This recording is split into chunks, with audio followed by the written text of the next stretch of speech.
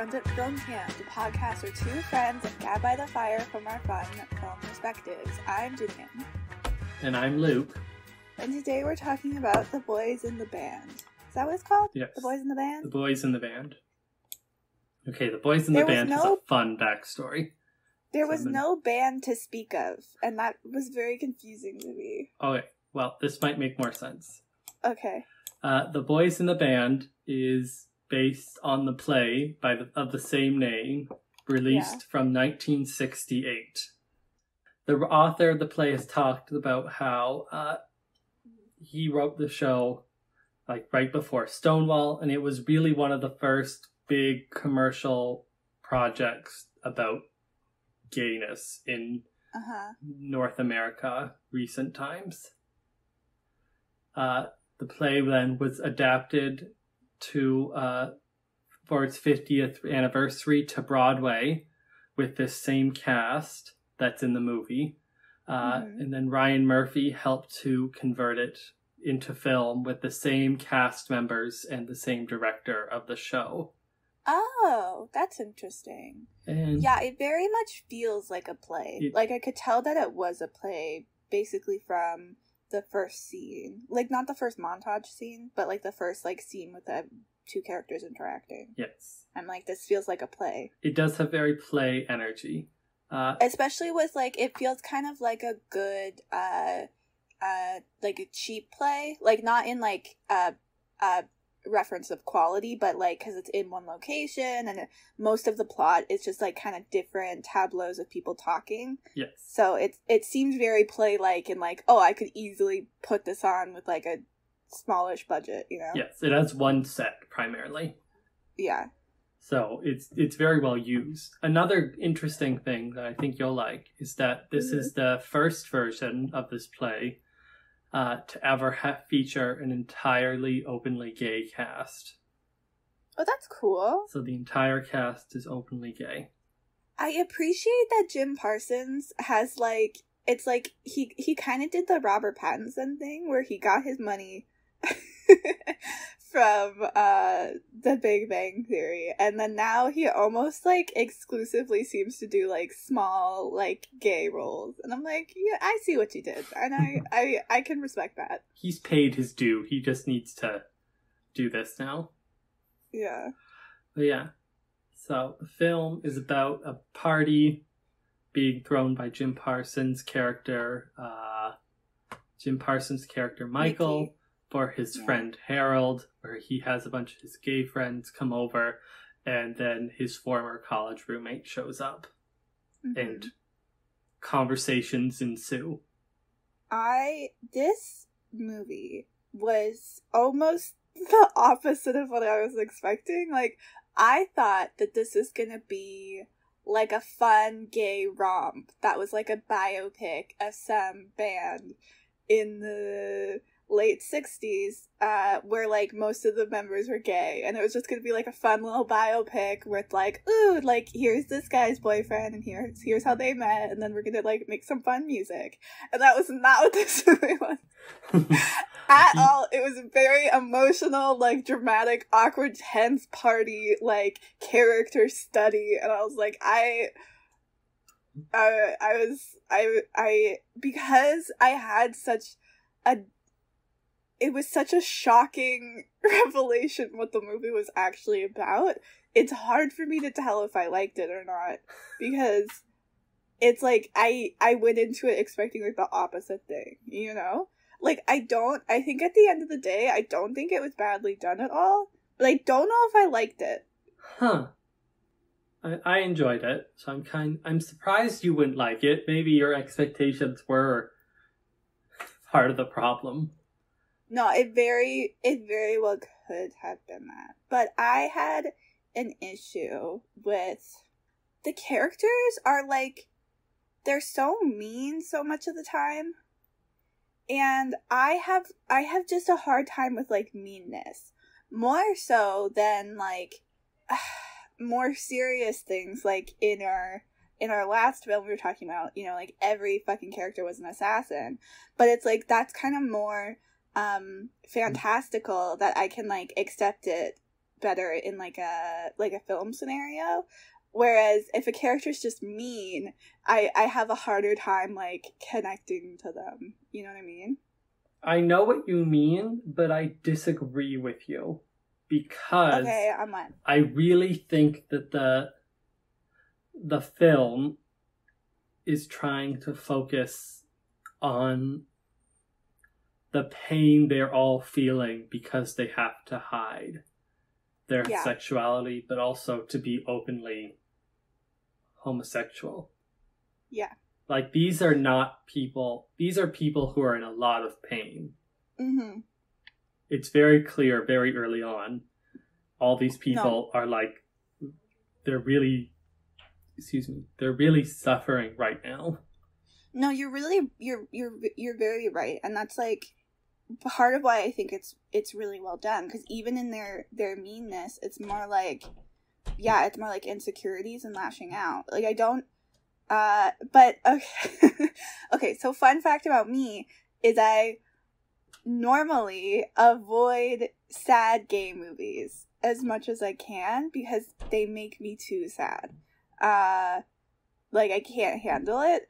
So, just the fact that this was a sad gay movie, I was kind of like, I had to, I don't know, emotionally separate it, myself from it a little bit. Mhm. Uh, like I watched, uh, the first time I watched Brokeback Mountain, it fucking crushed me, and I have not been able to watch it since. Like I have a DVD of it, and I look at it sometimes, and I'm like, I can't go there. Uh, so Which is So why it will be like- next week's episode on the podcast.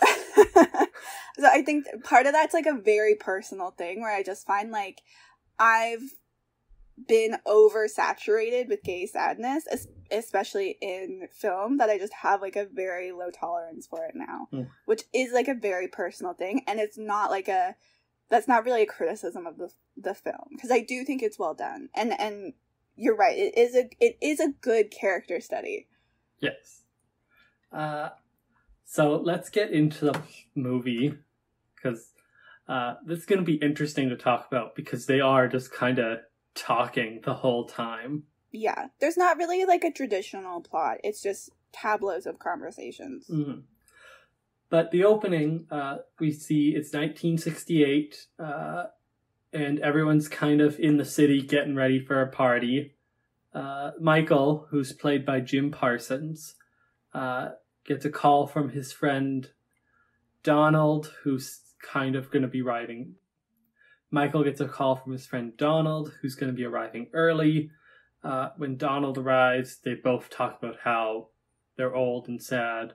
And then Michael's old roommate calls, uh, crying, which he doesn't normally do because he's like a real strong, tough, straight man energy. Mhm. Uh, and he calls crying and says he needs to talk to Michael.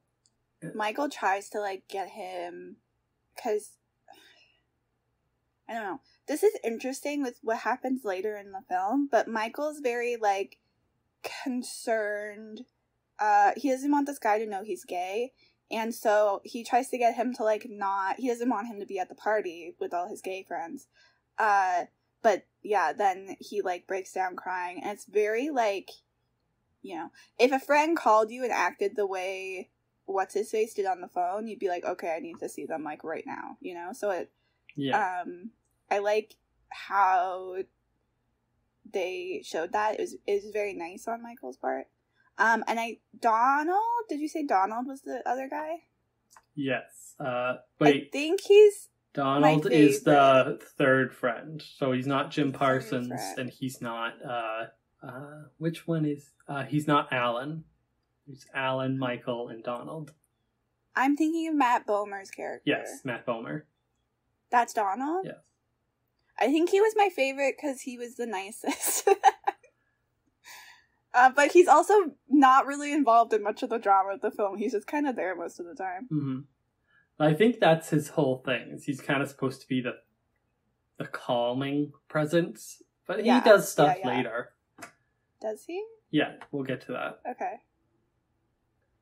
Uh, so I liked this intro. I liked how we kind of got to see just a little bit of everyone. The And the- apartment, the apartment that Michael lives in is so cute. Yes, this apartment set.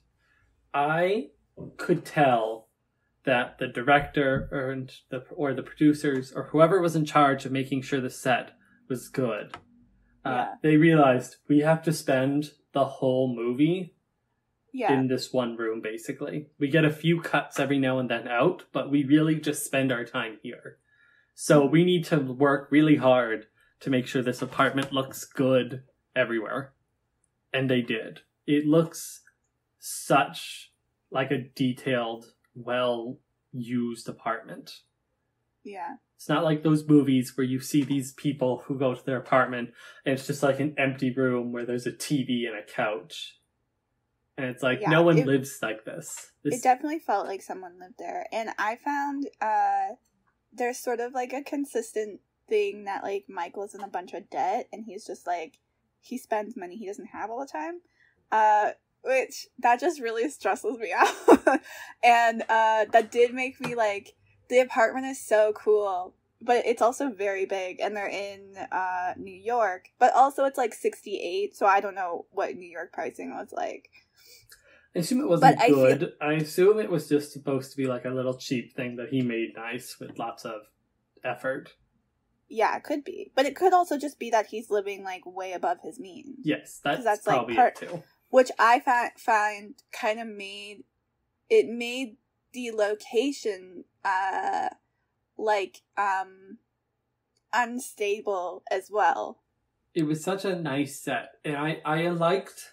This is unrelated to the set, but the Mhm. dynamic at the start between Michael and uh, Alan. Yes, Alan.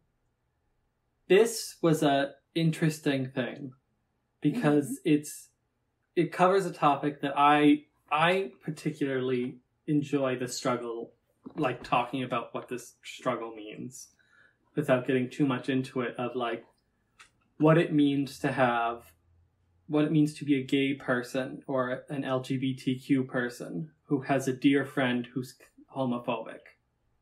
Yeah.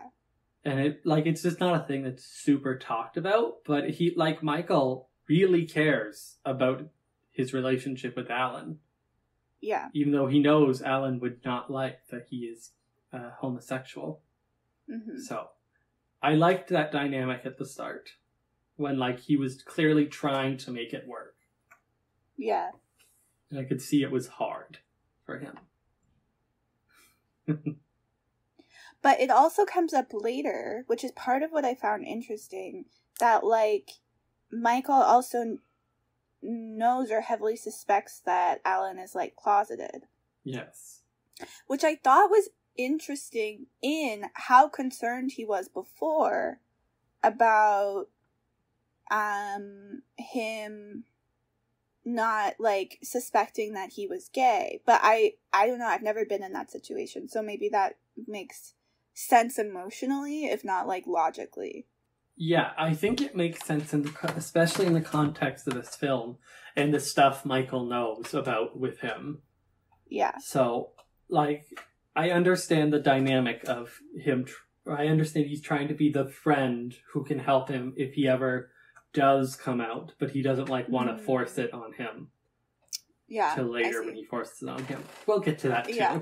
Well, we also find out an important thing that we establish in this beginning with uh like Donald is that Michael isn't drinking and we get the impression that he used to be like a, a pretty big partier and uh they kind of talk about how Michael gets like really mean when he drinks and he stopped drinking cuz he was drinking too much and he got like tired of the shame basically the, the next day for like what he had done previously when he was drunk um, so that comes very important because at one point when he starts drinking, he gets very fucking mean. So I did appreciate that we were warned at least. I know. I thought about that the second he got like was getting Yeah, drunk too, and was getting too. meaner and meaner. I'm like, oh my gosh! Thank goodness you told me. When Michael drinks, he gets very mean very quickly Yeah, because that's like very useful later on when he suddenly gets a lot meaner, and you're like, why Yeah. are you getting mean? But it's because he got stressed out that his friend found out all his other friends were gay, and he like needed a drink. So an- another thing this movie does, which is also very play-like, and it reminds me of this brand of play, and I've I've read one for an English class I was in. It was I want to say Greek tragedy, but it's it's not. But it's sort of similar with like gods and magic and chaos, and there's like a chorus. Do you know what that's called? No, I have no idea what you're talking about. Okay. Well, whatever this type of play is, this film reminds me of that because it's like every introduction of a new character is sort of it's a really big deal and it and it changes the path of the party that we're on. Yes. Um so we uh when the party kind of starts getting going and we get introduced to like all of our main uh characters and um everyone's hanging out and there's this the the party is for Harold and Harold is very late. And honestly, I thought Harold didn't exist until he showed up. yes. Uh, like I didn't think he was real. But uh so um everyone is hanging out. Uh oh shoot, wait. Who is the uh the couple who is together? uh, you're talking about Andrew Rannells, Larry, and uh, Tuc Watkins, Hank. Yeah, who was which one was the math teacher? Uh, Hank. Ugh, I felt so bad for Hank. Like Hank wasn't doing anything wrong and like everyone was making fun of him the whole time and like they kind of resolve it, but I just I just felt really bad for Hank. I Um got nervous what? at the first when I saw these two characters because I thought their whole character arc was going to be them fighting, them realizing they're a bad couple, then breaking up. And yeah. I was like, oh, I don't want to just see a couple end their relationship at a party because they're drunk. Yeah. They didn't do that, which I liked. But I, I understand. Hank, I could tell was like the punching clock there. But Yeah, I like- also like I understand the where they're coming from. Like they're all straight people. They're so annoying, and Hank is by far the most straight passing of Yeah. the nine people there. But Other he's still, like- people. It it it's it they almost treat him like he is straight. And it's like obviously like he left his wife and kids, like he's very in love with Larry and it's like I don't know if I'd say they were that mean to him. Like they were, I think I- they were a bit mean at the start when they were making some jokes like that. But I don't, yeah. I don't think it continued the whole time through. I the resolution for them was interesting because basically what Larry needs is a like polyamorous relationship, but like before they had the words for that. Um like an open relationship. Yeah, but the I I don't know. Obviously that was like a big issue between them that they hadn't super sorted and then they kind of like agree to try to sort it out. So like that was Actually, nice and I don't think he wanted a polyamorous relationship. Why? What do you mean? Well, I just looked up because I'm like, I don't know actually what the word polyamorous means. And What? polyamorous means like groups, multiple people at once. Yeah, but not not always together. There's different ways to be polyamorous. Okay, What he was saying to uh, Hank was he wanted to be able to uh, sleep with and see other people, and he wouldn't tell Hank about it. But if Hank asked, he would tell him, and like he never agreed to be monogamous, and that's like not something he could do. You could argue if whether it's polyamorous or just like an open relationship, but yeah, bas- he Yeah, basically, He- Larry wanted multiple partners, but he wanted to come home to Hank. yeah like he didn't he didn't he didn't want to be like a like a cheating asshole but he was like i can't be monogamous. Um and it was like obviously they had had this like conversation before. So like that was i i appreciated that resolution. Um it just felt like it like it felt like at the beginning there were so many vibes that like larry hated hank. Like he seemed like he really didn't like him. It was weird to me. Yes, I, I just thought that's why I was nervous because I was like, they're just Larry's being so moody right Yeah. now, and I'm like, oh, is it just gonna be them like fighting, and then Larry's like, I'm an ass, and I'm gonna leave you forever. But I I enjoyed as it went on, like when the problem came out, and then the phone game, and they resolved it, and they were like, okay, we'll try and make this work. I just felt like that was I don't know. I felt like Larry was being an asshole. Not even to do with wanting an open relationship because that's fine as long as he was being honest about it, which he was. So like besides all that, I just thought he was being an asshole to Hank for like most of the movie. And I'm like I don't understand why you're you seem like you hate your partner. So like I don't really know I just thought they about were this. fighting. Yeah, it could be, yeah. Like I just thought it was middle fight day, and then he That's was true. We flirting we've never with, uh, seen Matt. We've never seen any part of this relationship besides this one night, so that's very possible that it was just like a fight. Yeah. Well, I thought it was a fight because of, uh, like I just felt the energy. They still wanted each other there. It wasn't like they wanted to get away from each other. They just wanted to make Mhm. the other one mad.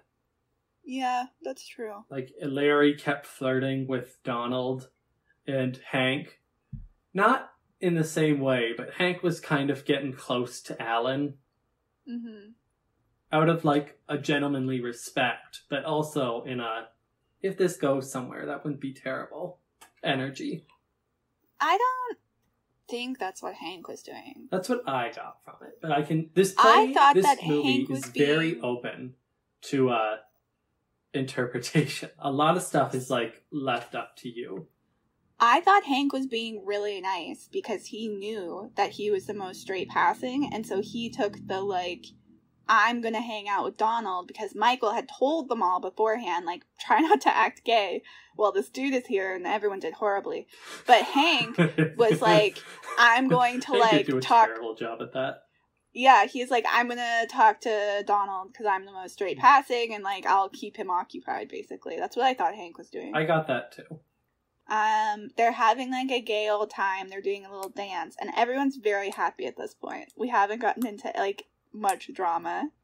Um, and yeah, then Harold shows up when he wasn't supposed to. He had called Michael and been like, "Oh, sorry about before. Like, Hold I'll on. see you tomorrow." You're talking about What? Alan.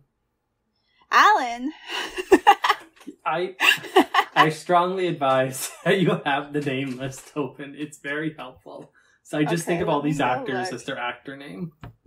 Let me go here. I'll get it open. Uh, the boys in the band. Why is it called the boys in the band? Uh, What's the band? I don't there's no know for sure. I think they would have had to pick a straight sounding name because it was 68. So you couldn't Uh-huh. have picked a name like The Gay Night Out or something.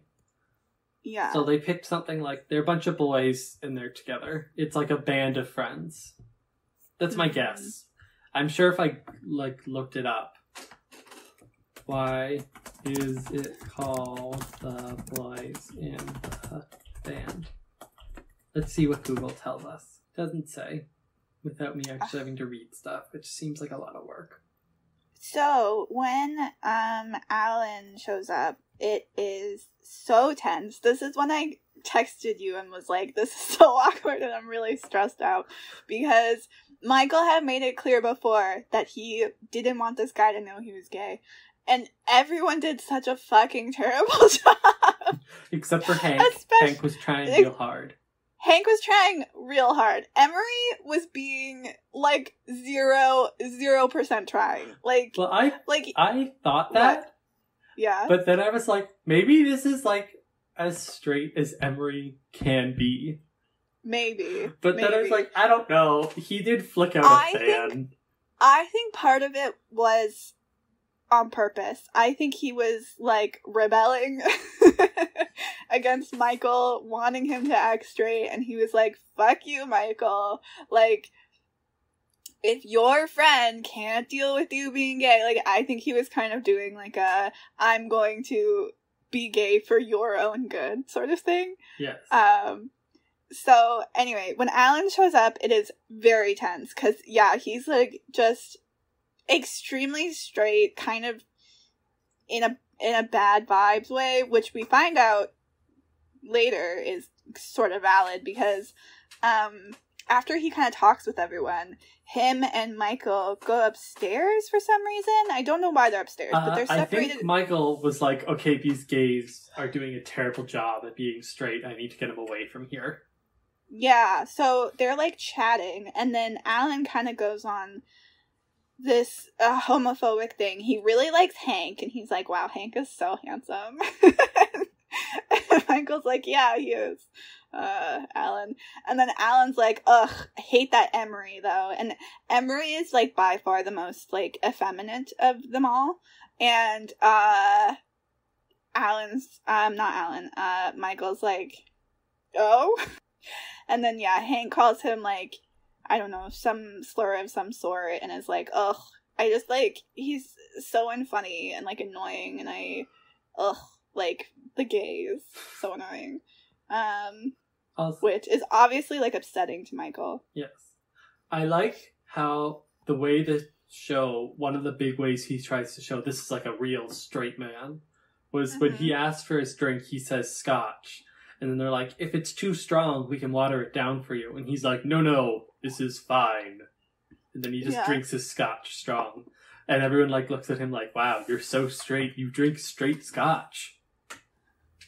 Is that not how you normally drink scotch? I don't know that much about scotch. I think you do normally drink scotch like that. It's just the way the movie framed it. This was like, this is a clear sign that this is a straight man. And I was like, this is a weird sign to make that a straight man. But also, the, they're so dedicated to it that I was like, okay. um yeah, so then I don't remember exactly what happens when they go back downstairs. He goes down, one- he talks to them for a bit, and then uh, Alan says something rude to Emroy. And Yeah. Emroy, or Alan says something I like, think it's You want to suck my dick, don't you? And then Emroy makes like a snappy comeback. Is it I thought it was Emory. Is it? I think so, Emory. Okay, I'll go Emory. Uh, Emory uh, says something snappy back to him. Yeah. And then Alan clearly wasn't expecting that, and he punches him in the face. And calls him a slur. Yes. Punches him in the face multiple times. Oh yes, he does. Um, he tries to like beat him up, and then It's very good violent. old Hank pulls him off.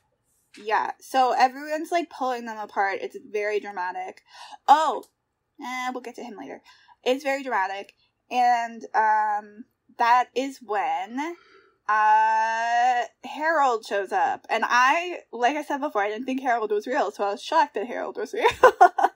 but also, throughout the rest of the movie, Harold did not feel like a real person to me. Like he almost comes across as like a he comes across as like a godlike figure or something. You know what I mean? I don't know how I feel about Harold. I understand what they're doing, where Harold's supposed to kind of act like he's better than everyone, but also he kind of is better than everyone. Uh huh. But he goes on a lot of like philosophic philosophical saying, Yeah. where he just kind of says these long spiels about uh people and why they do what they do. And I'm Yeah, like, like- okay, Harold, could you also just be a person? Him and Michael have like this really weird conversation about like beauty and like it like the value of it and like if it should have as much value. But it's it's it's not like they're having a debate. It's like they're talking about something else that we don't know about. Um cuz Michael especially is very like almost hurt by this conversation. But it's like you guys are talking about something else that I don't know about. Like something happened between you two and I don't know what it was, you know? yes. Um but yeah, Harold is interesting. I feel like I definitely feel like he's like a uh this goes back to the whatever type of play that I can't remember what it's called.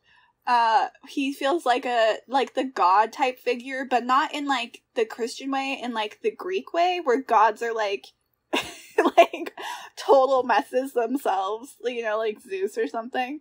Um where they're kind of like they're gods but they're also sort of like trickster characters. Like that's completely what Harold felt like to me. And he's also like constantly he talks about himself like he's the ugliest person to ever exist in the world, which is also kind of weird. Like he's played by Zachary Quinto, so like he's not ugly at all.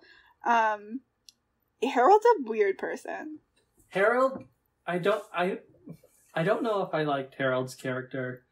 Uh Harold goes on a lot of philosophical rants and they're they're useful in terms of the story and they it's always clear this is just the dynamic he plays in the group. They like Yeah. him, but he's kind of better than he acts as if he's better than everyone. In the sim in a similar way to Michael. But uh, Harold does it through like philosophical instead of monetary stuff, Mm. if that makes sense. But yeah, Zachary Quinto does a. I don't know if I like this character. I feel like Harold Harold is just a weird thing. Yeah. Harold is definitely a weird addition to the group.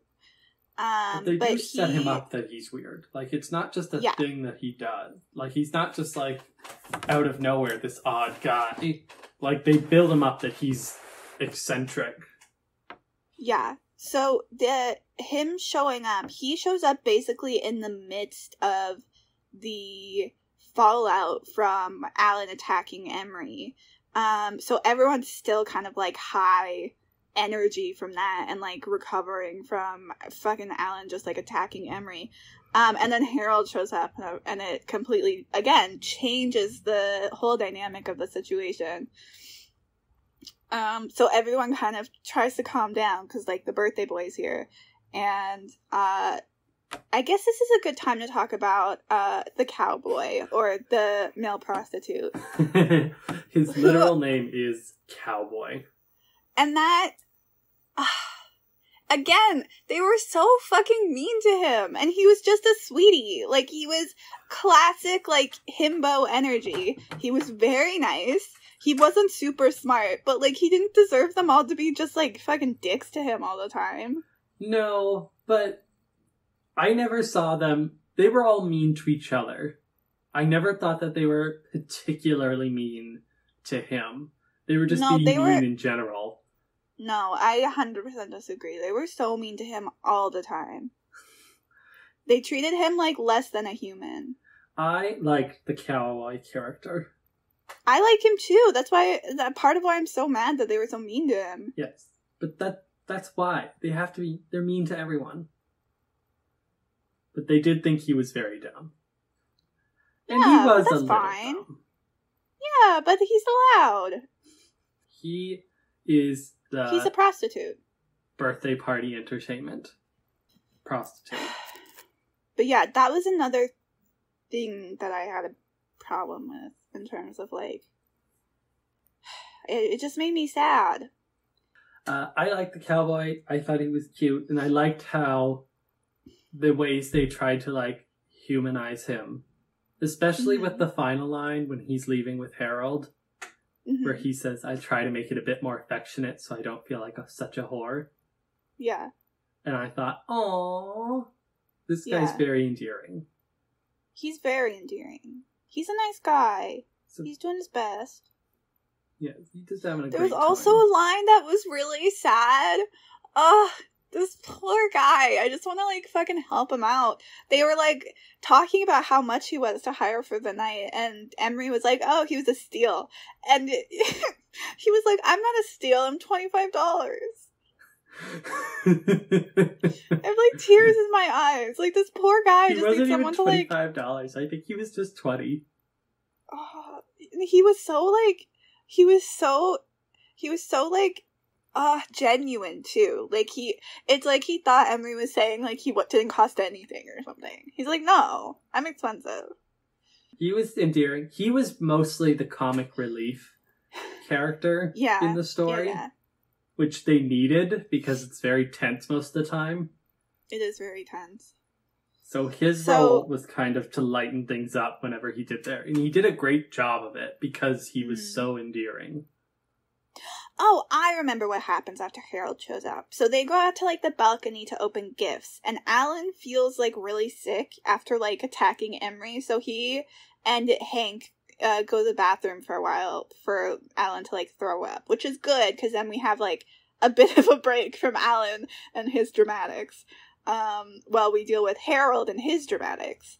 Uh, and then we're like opening presents and stuff. Oh yeah, and then something a hundred percent happened between Harold and Michael that we don't know about because uh Harold's kind of like going through everyone's gifts and blah blah. Michael, I think Michael started drinking when Alan attacked Emory. Is that when he started drinking? Uh, yes, that makes sense. So Michael's By getting this a point little in the movie, Alan or Michael is fully drinking.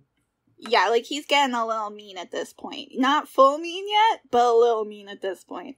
And he's sort of like quipping back and forth with Harold and uh Harold opens Michael's present and it's a framed photo of Michael with a personal inscription. And And we don't know what the inscription was, but again that changes the vibe where suddenly like Harold's not as quippy with Michael anymore. Yeah. It's very interesting. whatever was on the inscription, which we never find out, but Yeah. whatever it is, uh, it clearly like meant a lot to Harold, and he didn't expect Yeah. this. Yeah. So he was very caught off guard, and he was very thankful. And then he quickly hid it so no one else would see it. hmm So he like there there was something there which adds to the there's a thing between Harold and Michael. Yeah. So yeah, it adds that there's definitely some tension there. And then they're eating cake and having dinner. hmm Uh did anything happen with the cake and dinner? Um. Not that I can remember. I feel like that was kind of like a lull in all the drama. It's a calming moment, yeah. Yeah. And then, uh, starts to rain. what? It starts to rain, but also something sets Michael off. Oh, it's Alan. Alan comes down. Uh, so it starts to rain, so everyone runs inside. Alan comes down from the bathroom. He's done throwing up and he's going to leave, which is a reasonable reaction. And Michael won't let him leave, which is interesting. Michael's getting mean now, and also Michael, it's obvious Michael now has like a bone to pick. like, I think He- Michael never heard Alan or never saw I don't think Michael ever saw Alan be so blatantly homophobic before. yeah.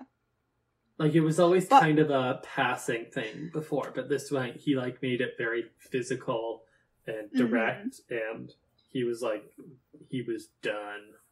Yeah, and kind of what we thought what we talked about before with like uh Michael Michael's other friend from college, like him and Alan were like in love with each other and blah blah blah. So uh Michael's like, I'm going to get you to admit this, basically, to Alan. In his own head. He didn't say that out loud.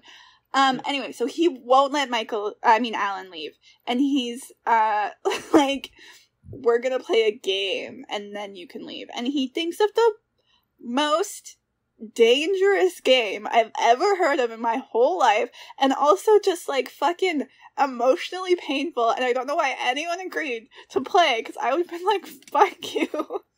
You're an asshole. Um, so, and I think this is a good time to talk about Emory and Bernard because they are sort of like the first victims of this game. Uh, Michael proposes that they play a game where you have to call the person you've like loved, like truly loved, and uh, there's like a point system. So like if you call, you get a point, and then like if they pick up, you get another point, and then like if you tell them you love them, you get another po- like five points or something. But first of all, emotionally dangerous, but also actually just like dangerous, dangerous. Because at this point, you can can't you go to jail for being gay at this point? Uh, I don't know. I think so. Like, yeah, they talk about police raids a lot. Yeah, they talk about Emory getting like uh arrested at like a bathhouse. Yes, so I'm pretty sure you can. Dangerous on so many levels this game. Um and we start with Emory and Bernard, who are kind of like I at least I sort of saw them as like a package deal for most of the thing. Not as they weren't dating or anything, they just seemed like really close friends. Um They do seem like close friends, yeah. Yeah, like they they showed up together. Did they? Maybe I'm making that up. They seem like close friends. They're hanging out together most of the time. Um and poor Bernard at this point is when the start of Michael's like racist outbursts, which were very shocking to me. I wasn't expecting that. Um and I I wasn't a fan. Well, I, I I, don't of- think this makes them better. I think that was him just trying to be mean for the sake of mean.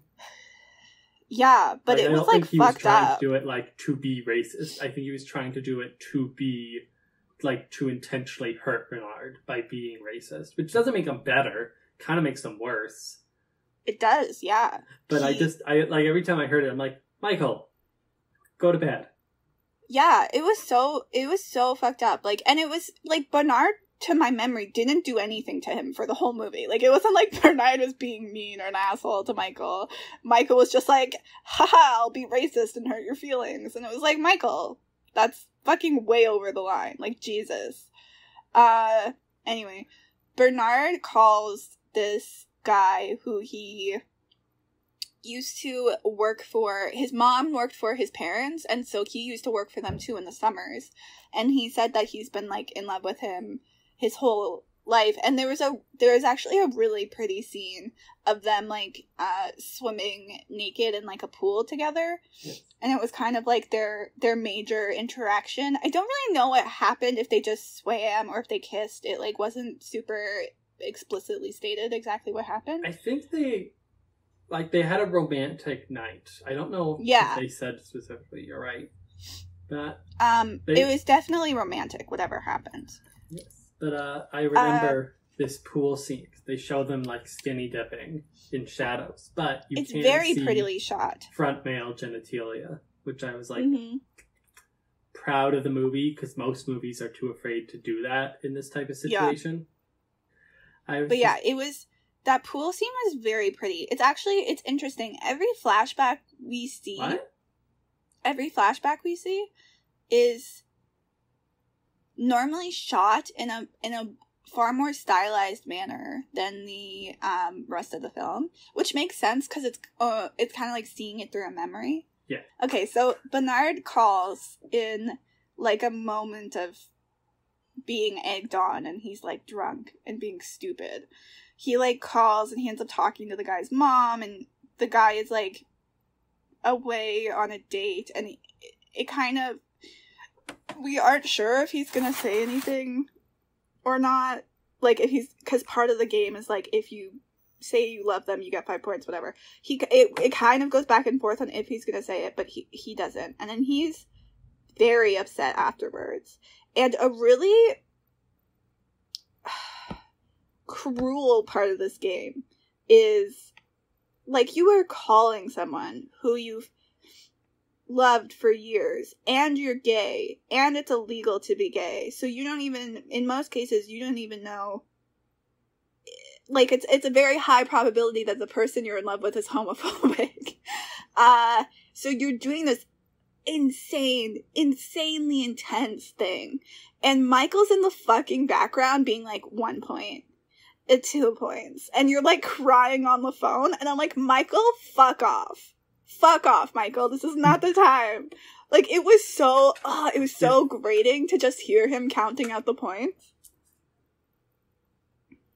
And it happens every phone call. Like he's just, Yes. he is so strict about this game.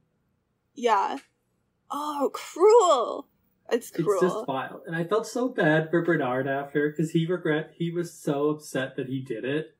Yeah which like he didn't even really say, he didn't even say anything bad so like he's okay he just called Emory. yeah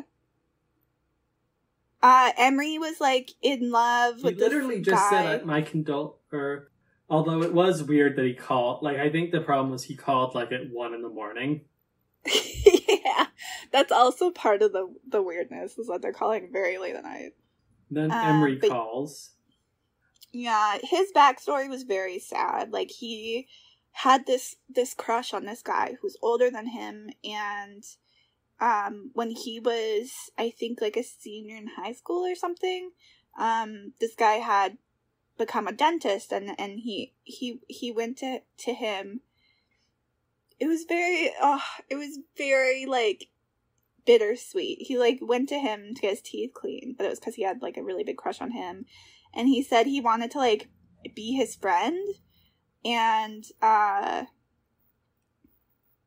the guy was like really nice and said yes and then emory bought him like a present um again because he's fucking in love with him and then like everyone found out somehow um so da- I everyone think was like the daughter or the sister told the school. oh so everyone found out and everyone was like making fun of him Yeah, I felt so bad. He was just so sad.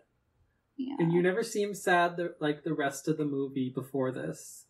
He's just so much energy. yeah And he was just defeated. And it's like, no, Yeah. I'll hug So- you. he calls and he he does get him but the the guy doesn't know who he is and he's like oh i think you have the wrong number and he hangs up on him which wasn't even him being cruel because emory was being very weird like he was like oh i'm i'm just a friend like i would have thought it was like someone prank calling me or something you know Yes. But I, it was still devastating. yeah And then basically the two of them are sad for the rest of the night. yeah and then they go get like pie together when they leave Yeah. which i'm i'm glad they did there there also was like a weird thing where michael was talking michael was trying to stir stir shit up and he was being talking to bernard and he was like why do you let emory speak to you like that and i didn't even remember emory speaking to bernard in any way do you know what michael was talking about I don't. I didn't personally remember it, but I think the idea was that Emory would use bad words about Michael or about Bernard's Bernard. race. Uh, really I think the idea was like he would say them, but like in a joking way. Yeah, maybe I missed that, but I did. I liked that interaction because Bernard was like, uh, you know, Emory can like I let Emory say that about me because like it was kind of intense because he was like Emory needs to feel better than me or something. Uh, but I liked that after that interaction, Emory was like, I'll never speak to you like that again. Like he didn't realize it was something that was like hurting Bernard in any way. So I did appreciate that Emory like apologized and he was like, I will stop doing that. Yes, it was very good. He was immediately like, "Mm, "Okay, won't do it again. So sorry." Yeah. Do you know what Emory Um, did for a job? No. No idea. Because he just seemed like he was very rich. That's true. but I couldn't figure out like what he did. So Yeah. I was trying I to figure that idea. out. Um, but yeah, up next is is Hank and Larry, and we kind of touched on that because Hank calls their own answering machine to tell Larry he loves him, and then that it kind of leads to them working out their shit a little bit. Uh, And it was cute because I Larry genuinely was shocked when he did that. he was shocked, which was surprising because Hank left his wife for him. But I, But it was I yeah, I Hank was it, it was such a it was such a sweet gesture for Hank to call their answering machine. but I it thought that, wasn't that was really an cute. answering machine. Like it was a person.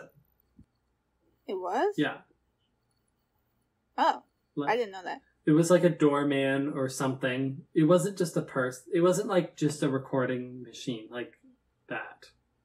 Oh, Which is why they were kind of shocked because they just told he told someone he was gay. Yeah. And I like that Alan. Alan was like betrayed. Alan was like betrayed that Hank was acting so gay.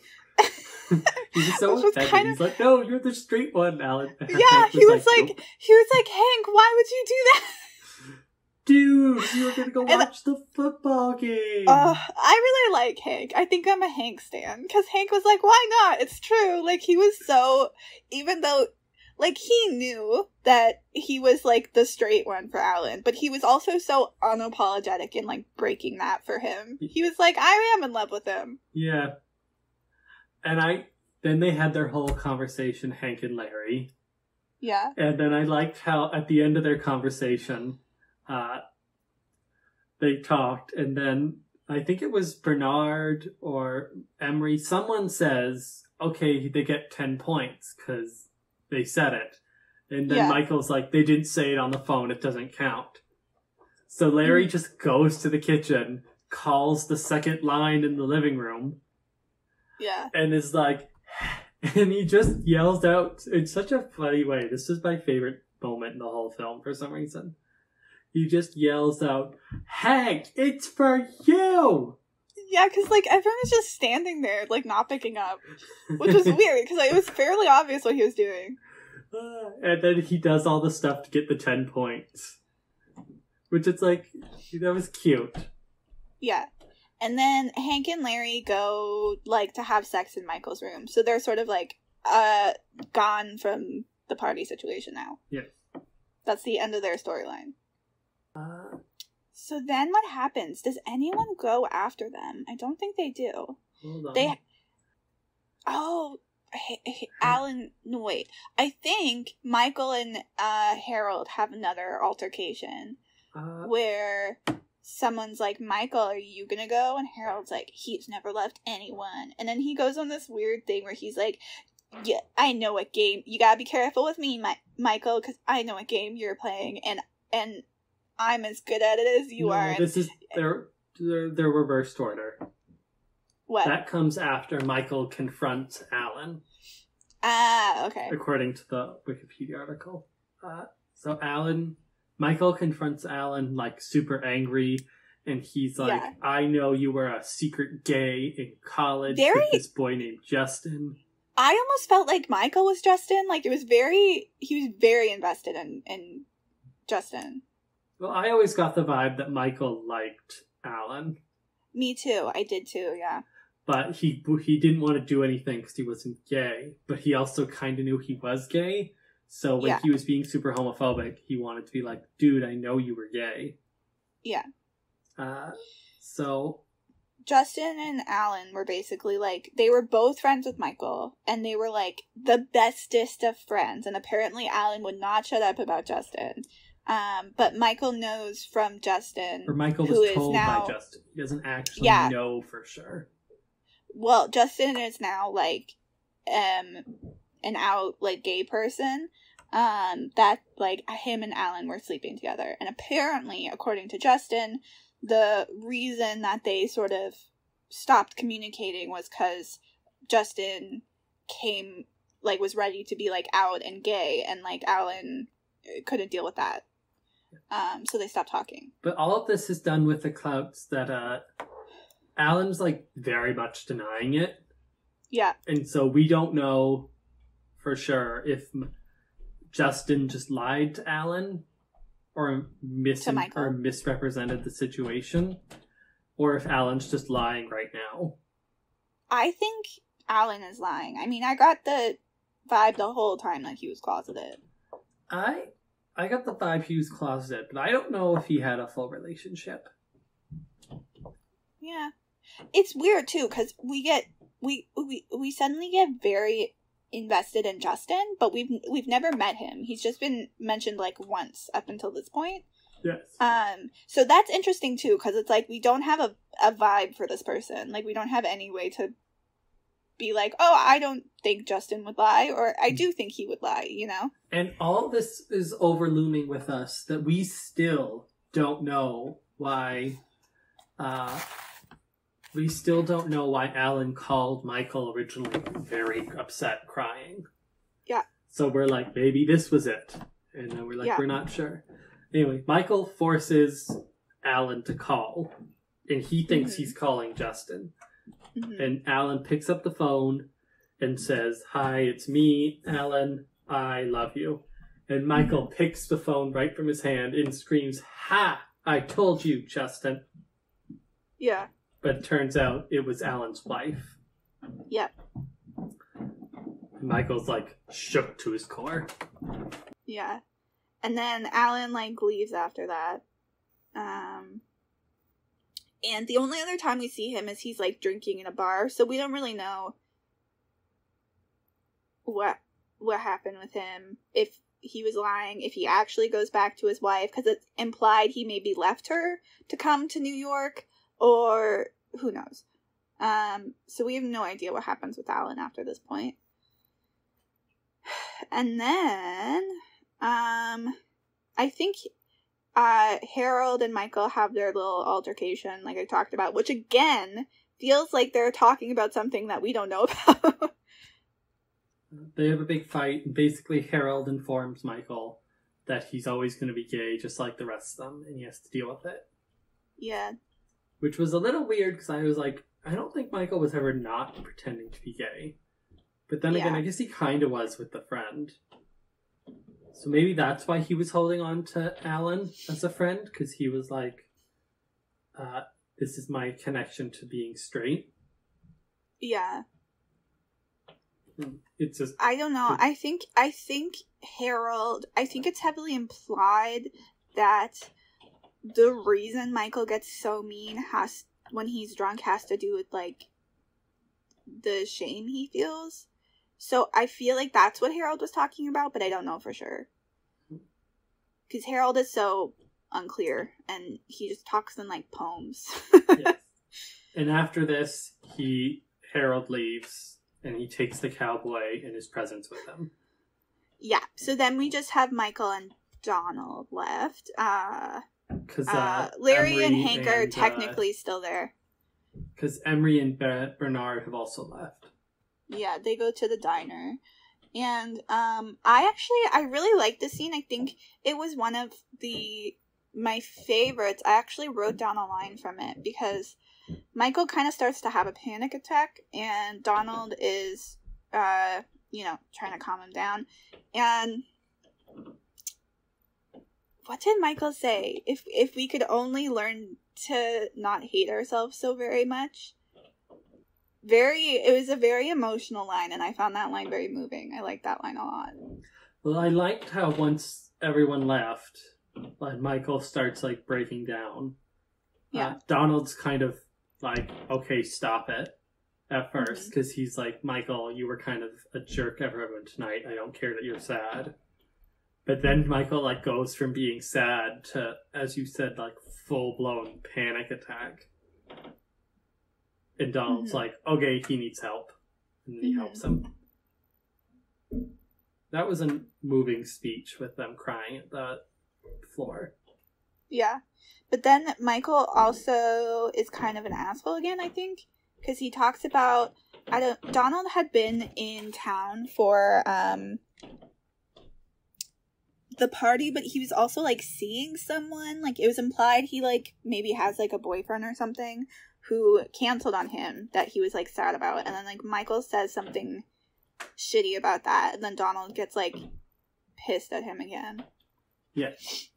so michael it's also oh uh we missed this but part of also a thingy i liked at the sort of end of the party after everything has happened is like even when harold leaves he's like see you next week. And it's i like the implication that this was uh kind of normal like like this level of of intense intensity wasn't actually that out of the norm. So it was like even though everyone had been sort of like at each other's throats and like pissed at each other for multiple reasons it was it was still like okay see you tomorrow you know? Yes. i thought that was interesting. I like that. I liked it because it added that sense of, uh, okay, this is just how they are. It made me feel less And- sad because Yeah. they were like, them having strong nights of strong tension isn't unnormal for them. Yeah. Um and and uh also what was interesting was Michael asked Donald after everyone's leave, he's like, How late is it? And Donald was like, It's it's still really early.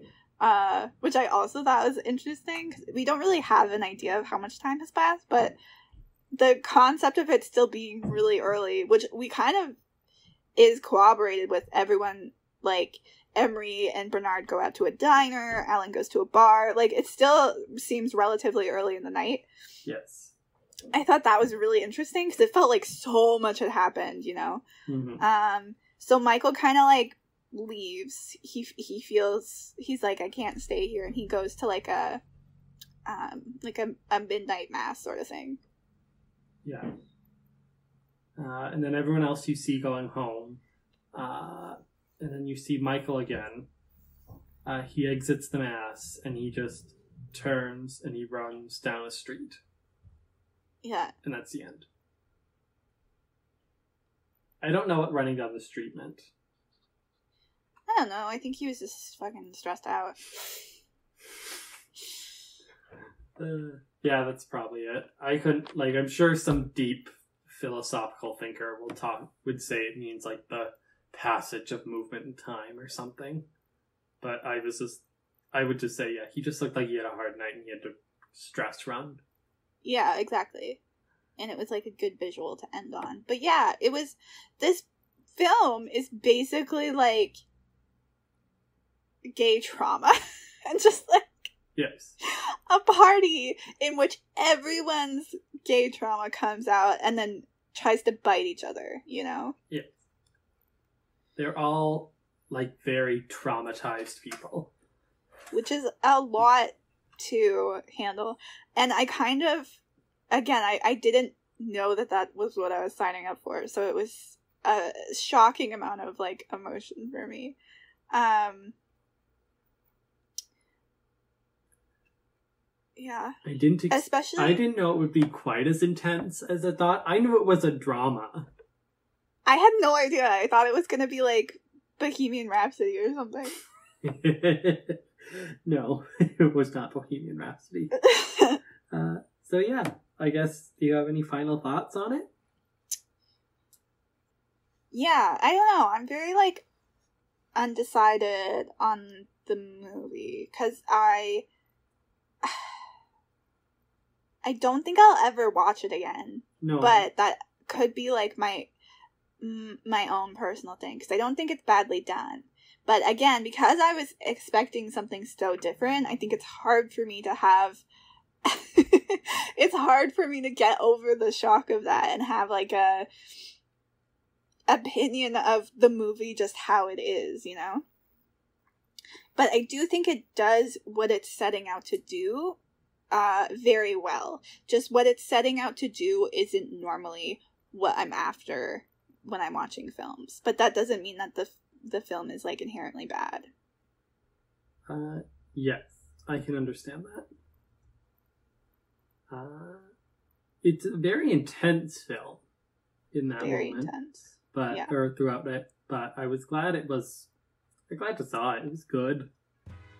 Thank you for watching this week's episode at Friends at Film Camp. We'll see you next time at the campfire.